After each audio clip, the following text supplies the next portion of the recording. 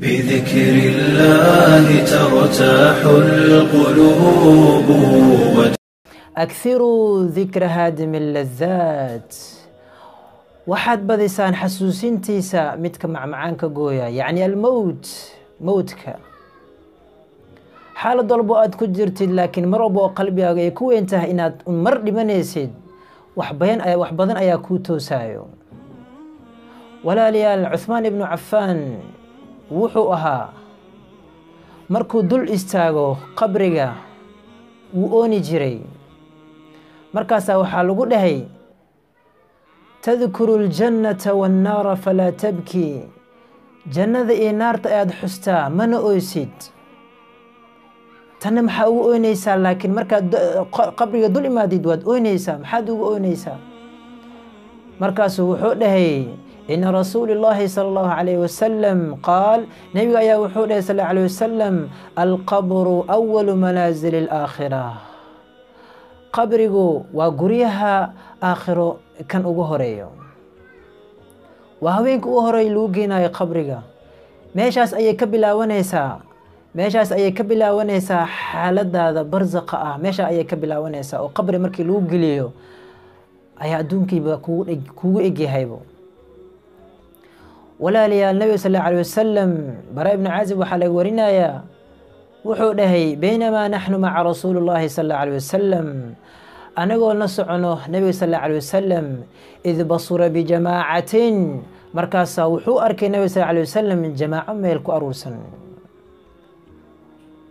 Calaa majtamaca haaulaa. Dadkaas maxay ku aruursan yihiin maxay ku kulinsan yihiin? Markaasaa loo jawaab nabig waxaa lagu dhahay calaa qabrin yaxfuruunahu. Waxa ay dul taagan yihiin waa qabri ay khudayaan inay dad duugaan doonayaan. Fafazica annabiyu sal alla alay wasalam nebiga wuu argagaxay wuu isbedela asigoo dhan. Fabadaa bayna yaday asxaabihi musrica wuu cararay nebiga sal alla alay wasalam asigoo degdeg ku jira wuu degdegay saxaabadiisa uu ka soo hormaray. Xata intahaa ila alqabri ilaa uu ka soo dul istaagay qabriga. Fajafa calayhi jilbihiisa ayuu dhulka dhigay. Bara ibnu caazib wuxuu leeyahay faistaqbaltuhu bayna yadayhi waan soo wareegsaday oo hortiisa ayaan soo istaagay nabig sal alay wasalam markaan soo dul istaagay nabig sal alay wasalam liandura maa yasnac inaan ogaado oon fiiriyo wax uu sameynaya nabig sal alay wasalam fabakaa nabigu wuu ooyey xataa balla thara xataa balla thara min dumuucihi ilaa ay qoysay caradu lintiisa ثuma qaala markaasu wuxuu dhahay sal alay wasalam faaqbala calayna markaasuu anaga nagu soo jeesta nabig sal alay wasalam faqaala nabigu wuxuu dhahay sal alay wasalam yaa ikhwaanii walaalahaygayow walaalahaygayow limithli hada faaciduuh limithli hada alyowmi faaciduuh maalinkan oo kale u diyaar garoowa maalinkan oo kale qof walba way sugaysaaye u diyaar garoowa. Walaalayaal nebiga waxa uu nagu boorinayaa waxay tahay inaan u diyaar garoono oon u diyaar garoono dhahayay khabrigaasi iyo su'aalahana lagu weydiinayo inaan u diyaar garoono. Waayo qabriga marka lagu geliyo saddex su'aal ayaa lagu weydiinayaa. Adiga waad garanaysaa saddexdaas su'aal. Laakiin hadhowdi waxaa laga yaabaa inay kuu adkaato marka markaad qabriga gashid oo lagu weydiiyo sidoo kale waxaad la kulmaysaa qabriga dhexdiisa. Saddex shay oo bini aadanka necab yahay. Kow ciriiri.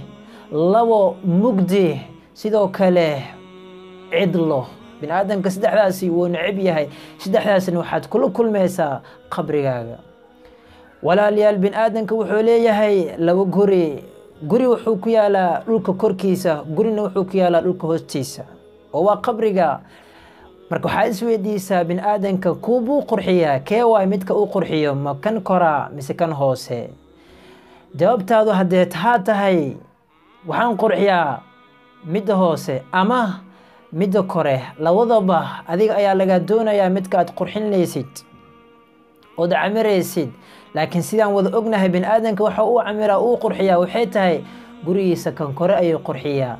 Kan hoosna ma daneeyo oo ma fiiriyaba ma xasuustaba. Sidaa daraaddeed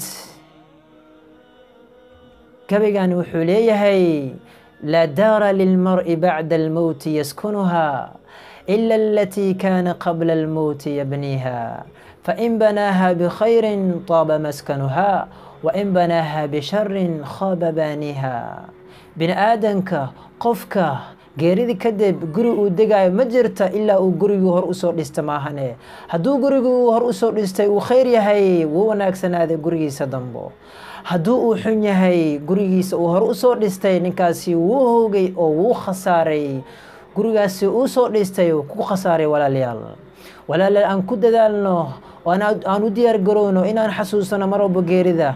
Daqiiqad walbo iyo xaalad walbo aad ku jirtid ogow mar un inaad dhimanaysid. Haddaad yar tahay waad dhimanaysaa haddaad weyn tahay waad dhimanaysaa haddaad duqowdna waad dhimanaysaa. Aakhir waxaad u dambaynaysaa labo meel imaa janna wa imaa naar imaa naar ayaad u kacaysaa. Allaahuma najina wa imaa janna ayaad aadaysaa. Ilaahu jannadaadana geli yaa allah. Walaalkayga muslimka ahow nebigu ilaahay qur'aanku wuxuu ku dhahayaa يا أيها الذين آمنوا اتقوا الله ولتنظر نفس ما قدمت لغد مؤمنين إلهي رمييو هفيرسو نف والبا وحي هرمرستي آخر هفيرسو oo ha ka warhayso waxa maxallaha ee horumarsanayso آخر ولا لي الآن كده لأنه إن أن مرو مروا بقيردة إقيرد وحق هذا وبالله توفيق وصلي اللهم على نبينا محمد وعلى آله وصحبه وسلم. بذكر الله ترتاح القلوب وتنزاح المتاعب وال